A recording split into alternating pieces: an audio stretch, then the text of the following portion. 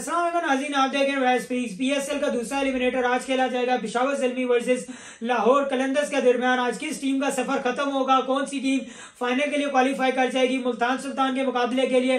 और किस टीम का घर का टिकट बुक होगा? ये आज कुछ ही देर में पता चल ही जाएगा।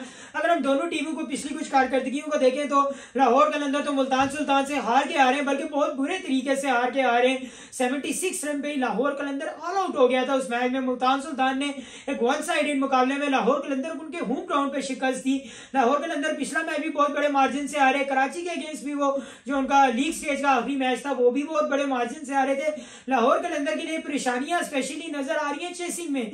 देखें, वो चेसिंग में बिल्कुल बहुत ज़्यादा कमज़ोर नज़र आ रहे हैं। इस सीज़न में वो कोई मैच भी चेस करते हुए नहीं जीते। जितने भी मैचेस लाहौर कलंदर जीता है, वो पहले बैटिंग की है, उन्होंने अच्छे रन पुट किए देन उनकी बॉलिंग लाइन बहुत ज़्यादा स्ट्रॉन्ग है। तो उन्होंने अपनी बॉलिंग से सेकंड में दूसरे, दूसरी टीम को कंटेन किया और वो मैच जीतने की तरफ़ गए तो चेसिंग में उनको बहुत ज़्यादा नुकसान हो रहा है, लेकिन लाहौर कलंदर की बैटिंग को क्लिक करना पड़ेगा इस मैच में। बहुत ज़्यादा कंसिस्टेंटली उन्होंने परफॉर्म किया लेकिन पिछले दो मैचेस से उनकी जो विनिंग स्ट्रीक है वो टूट चुकी है। तो अब देखते हैं वो आज कैसा कम करेंगे। पिशावर जलमी कल हरा के आ रहे हैं इस्लामा यूनाइटेड को, बल्कि पिछले दोनों मैचेस में उन्होंने इस्लामा यूनाइटेड को हराया। लीग स्टेज का आखिरी मैच भी उनका इस्लामाबाद के अगेंस्ट था, और कल वाला मैच भी उनका इस्लामाबाद के अगेंस्ट था आखिरी। कल उनके, कल वाले मैच में बैट्समैन भी उनके क्लिक किए, लेकिन स्पेशली जो उनके बॉलर्स ने डेथ ओवर में बॉलिंग कराई. आई थिंक इस पीएसएल के पूरे सीज़न में इससे बेहतर डेथ बॉलिंग नज़र नहीं आई, जो आमिर जमाल ने बॉलिंग कराई. देन उसके बाद सलमान इशाद जिस तरह बॉलिंग कराते हुए नज़र आए और अजमतुल्ला उमर सही ने भी उनका बड़ा अच्छा साथ दिया. इन्होंने बयासी रन दिए थे आई थिंक बारह ओवर में और पाँच विकेटें भी ली थी. तो बहुत ज़्यादा उनकी डेथ बॉलिंग उनका साथ दे रही है.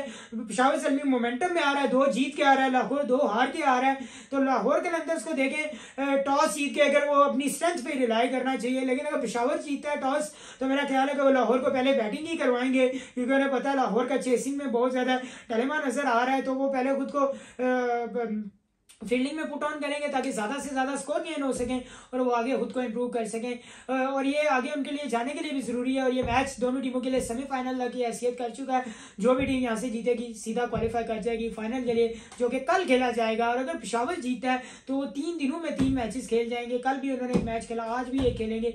और अगर कल भी वो क्वालिफाई कर जाते हैं फाइनल के लिए तो कल तीसरा मैच खेलेंगे। और तीन लगातार टी ट्वेंटी के मैचेस खेलना थोड़ा प्लेयर्स के लिए भी डिफ़िकल्ट है। बट अब क्या कर सकते हैं मजबूरी है। इनशाला बहुत जल्द आपसे दोबारा मुलाकात होगी। तब तक ले लाने के बाद दुआ में याद देखेगा पाकिस्तान, जिंदाबाद, कश्मीर पाइंदाबाद